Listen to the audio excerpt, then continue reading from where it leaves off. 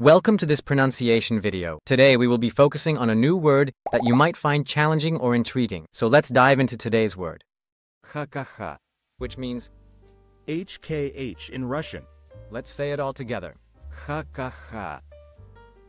Ha-ha-ha. Ha-ha-ha. One more time. Ha-ha-ha. Ha-ha-ha.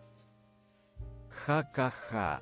Thank you for joining us on this adventure in pronunciation. Remember, language is a journey, not a destination. Keep exploring, experimenting, and expanding your linguistic horizons. We'll see you next time.